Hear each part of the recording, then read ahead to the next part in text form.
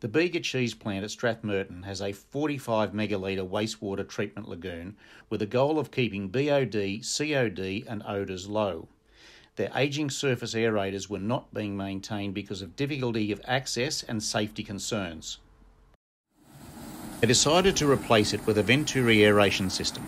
The system is mounted on the bank and uses a Gorman Rupp self-priming pump to provide flow and pressure to the 6-inch Venturi aerator, which produces up to 30 kilograms of dissolved oxygen per hour.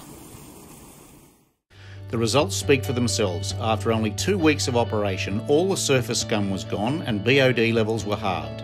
Maintenance will also be super easy for operators to ensure the equipment keeps delivering results well into the future.